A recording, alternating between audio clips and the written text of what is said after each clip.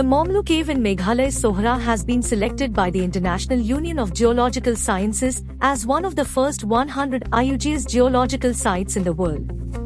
State Chief Minister Conrad Sangma informed this through Twitter. Mawmluh Cave is known for the Meghalayan age. It's the fourth longest cave in the Indian subcontinent and known for its stalagmite structures. Scientists and geologists found huge stalactites and stalagmites in the cave. Mawmluh Cave's 1290 meter high stalagmite made it into the geologic time scale. Rainwater has been dripping from the ceiling of Mawmluh Cave for over 1000 years.